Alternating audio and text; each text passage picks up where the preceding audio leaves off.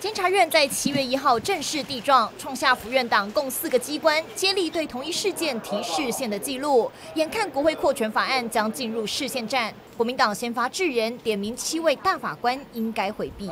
我们能够期待他们做出公正、客观的裁判吗？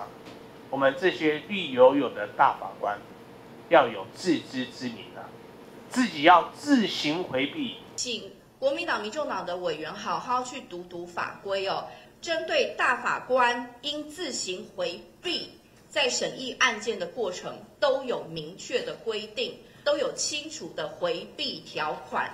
民进党团反轰，没好好研读法规。大法官审议案件，除非自己或配偶是申请案件的当事人，或跟案件有关联，曾经参与过案件裁判、当过证人等等，才需要回避。不然，大法官仅仅十五人，动不动就要回避，没完没了。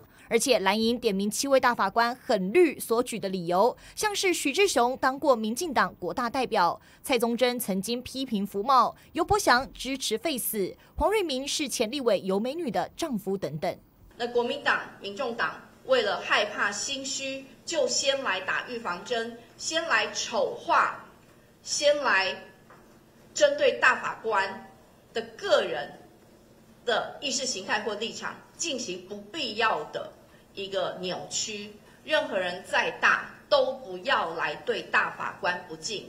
吴思瑶反讽蓝营心虚，就不知道是不是自知国会扩权为限，才先打预防针。